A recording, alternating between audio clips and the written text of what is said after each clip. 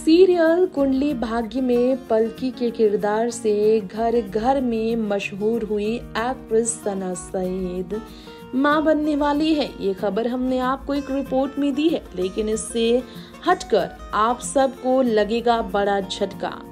कुंडली भाग्य में सना सईद को रिप्लेस किया जा सकता है। बालाजी देव टेलीफिल्म्स ने इम्पोर्टेंट नोट दिया है कि नहीं, इस बारे में ये भी आपको बता दें। जी हाँ मीडिया में ऑन गोइंग रिपोर्ट्स कह रही हैं कि सना को रिप्लेस किया जाएगा एक नई एक्ट्रेस से। अब, बालाज टेलीफिल्म्स का the principal producer of the show है।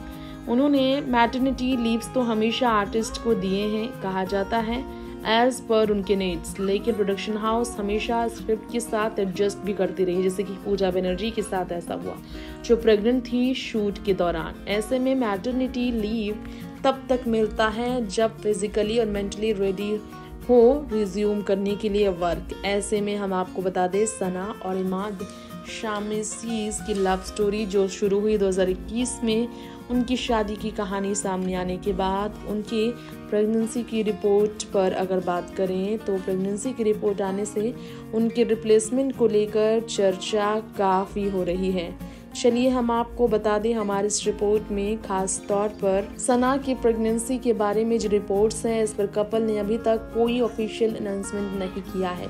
इसलिए शो में इनकी रिप्लेसमेंट को लेकर फ़िलहाल क्लियर करना मुश्किल है। Next nine live report